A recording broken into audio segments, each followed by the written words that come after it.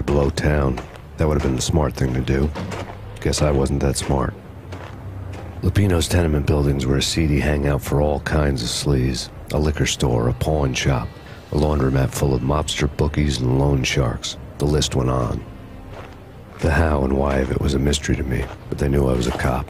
They knew I was coming, and they were going to get real trigger happy about it. I got to see Lupino's hangout all lit up. A bomb went off, turning snow into liquid gold. A pillar of fire lifted the remains of a car straight up into the air. The flames were highlighted on the hood of a black Mercedes-Benz as it coasted down the street real slow, as if the driver didn't have a worry in the world. I got a good look at the man riding shotgun. It was Vladimir, the head of the local Russian mob, the fly in Don Punchinello's soup. The ringing in my ears was the sound of a mob war being waged.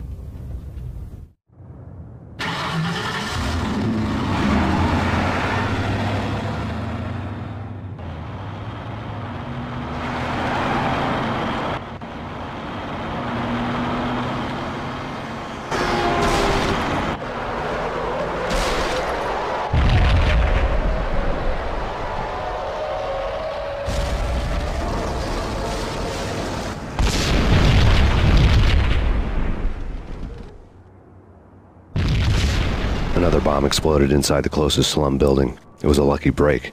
The goons inside were spooked, but luck always came with a price tag. More bombs could still be ticking inside, and the cops would already be on their way. Jack Lupino's suite was on the top floor. At least it used to be, before the explosive makeover.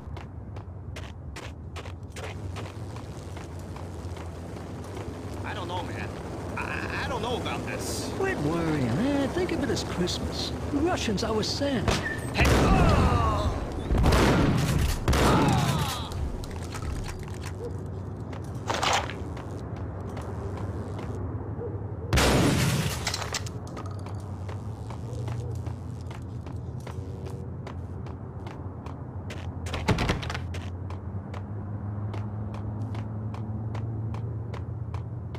The headlines were a depressing read. The headlines were screaming bloody murder. The storm was a screaming duet with the approaching prowl car sirens. It was all a scream when you were down for the count and wanted for murder.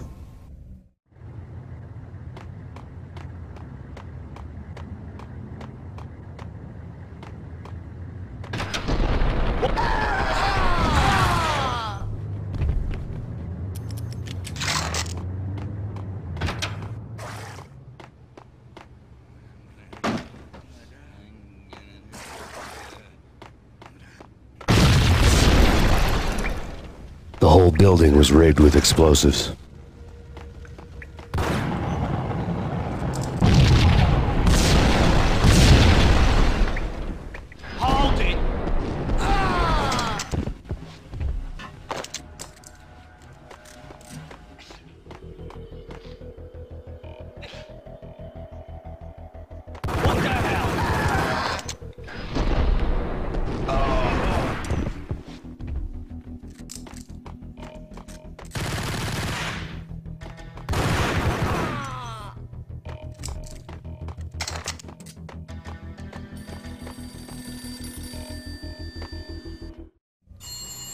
A beaten up phone in the entrance hall was ringing.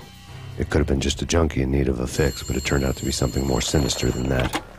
Am I speaking to Mr. Payne? Who wants to know? My name is Alfred Woden. You must hurry.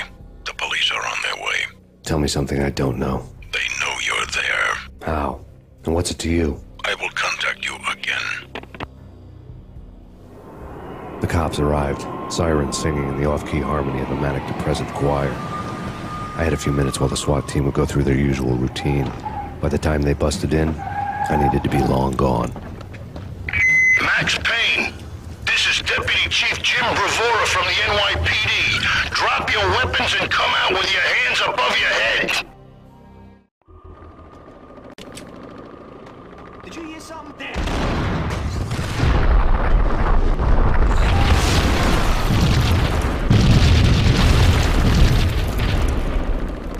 I needed a key to get past the locked door.